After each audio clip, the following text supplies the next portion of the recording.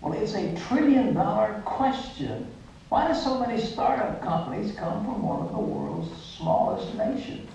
Here's Chris Mitchell with the answer. Israel is a nation of slightly more than 7 million people. Yet per capita, it leads the world in technology startup companies. One reason for Israel's leading role is its military and the kind of innovative leaders it produces. Veterans of the Israeli military, once they retire, they join the commercial market and they apply the different defense cutting edge technologies into the medical market, telecommunications, uh, cell, uh, cellular uh, market, etc.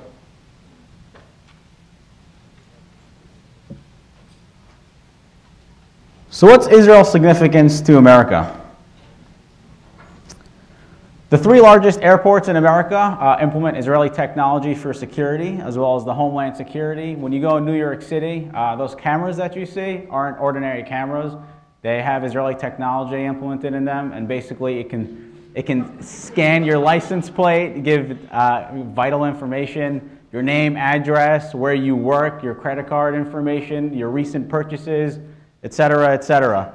Uh, and it's also basically uh, America's military defense system, the Patriot missile, uh, which is uh, surface-to-air def- uh, missile defense system, as well as the Aegis, which is which is sea-to-air missile defense system. Um, that technology was invented in Israel, and if you see on the bottom right-hand side, that's a million-dollar uh, helmet-mounted cueing system. And so what that does is for the F-16 fighters in America, they basically have the whole cockpit in that one lens, and so they're able to do whatever they can instead of having to look at the cockpit uh, without that in their helmet.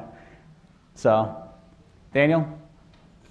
So now, what's really crucial about this presentation is that Israel is home to entrepreneurs. And entrepreneurship in Israel, or an Israeli entrepreneur goes hand in hand. And some of you may have seen that in your classes with Professor Seidman or Professor Horsky, um, where they take the initiative to do brilliant things.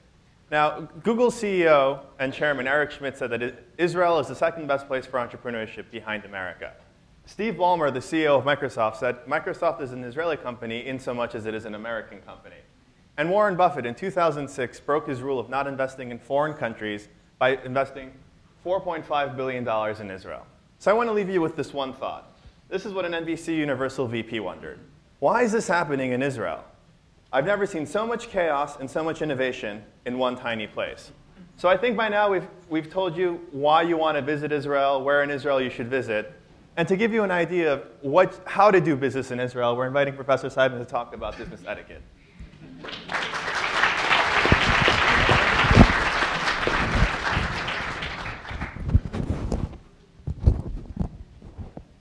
Can you project this? Okay.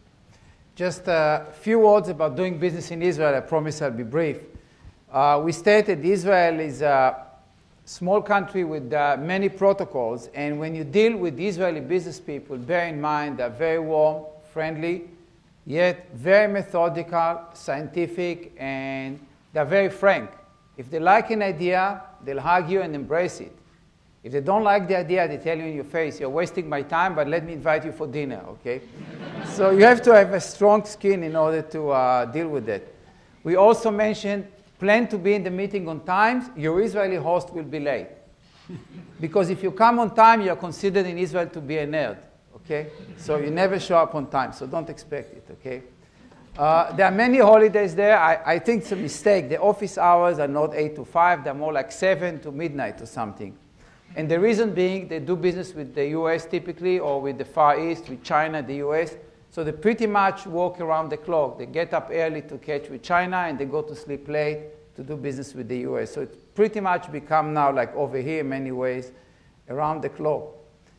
The other point which you have to bear in mind is Israeli business people play very high premium on interpersonal trust.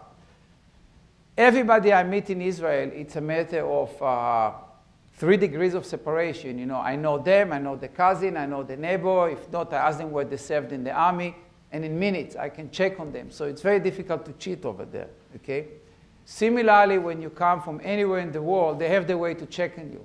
So if they trust you, a lot of the business is done, as we call in here, mazalu bracha, which is a handshake.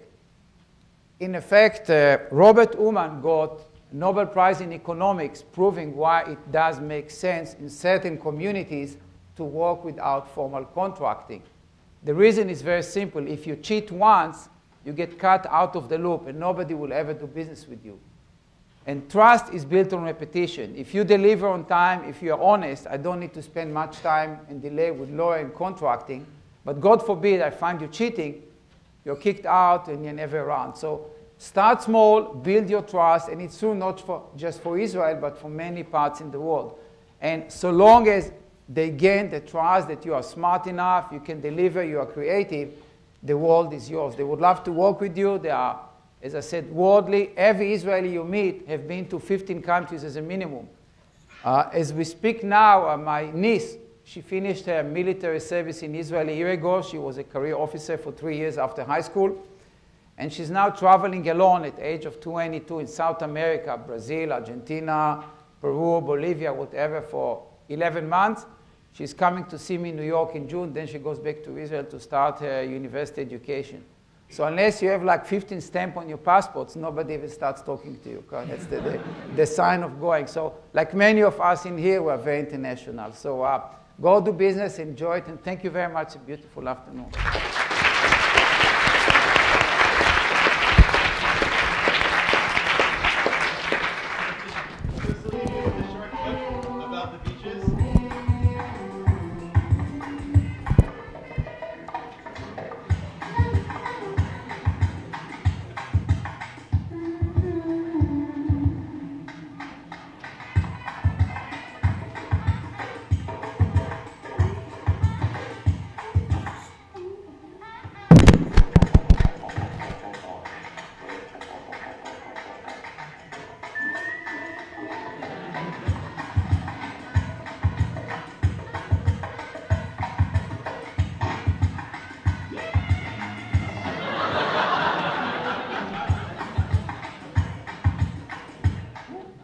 רוצה בנות, רוצה את דנה, טלי ושרון, וגם את רוני מהרמי